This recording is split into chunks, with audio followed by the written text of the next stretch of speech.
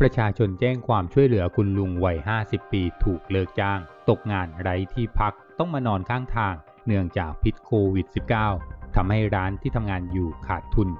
โดยคุณลุงนั้นมานอนอยู่ข้างถนนใกล้กับตลาดชื่อดังย่านสายไหมประมาณ 5 วันแล้ว ล่าสุดทางด้านของนายเอกภพเหลืองประเสริฐ ผู้ช่วยสสเขตสายไหมพร้อมกับทีมสายไหมต้องรอด เดินทางลงพื้นที่ค้นหาจนไปพบตัวนายวีรัตวารินอายุ 50 ปี หรือว่าลุงหลอด ชาวอำเภอกันทาลม จังหวัดศรีสะเกดนายเอกภพนั้นได้กล่าวว่า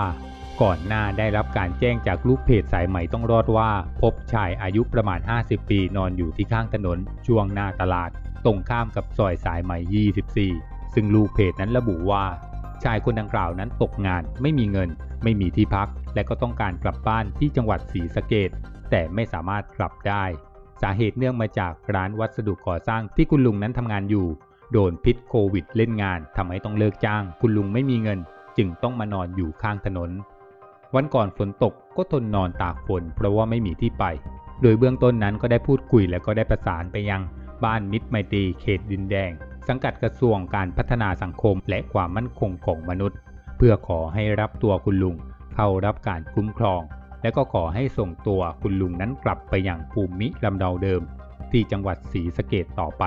ซึ่งการส่งคุณลุงไปยังบ้านมิตรไมตรีได้รับความอนุเคราะห์จากมูลนิธิเพชรเกษมกรุงเทพจัดรถมารับคุณลุงนำส่งบ้าน ซึ่งคุณลุงนั้นเปิดเผยว่ารู้สึกดีใจเป็นอย่างมากและก็ไหว้ขอบคุณไม่หยุด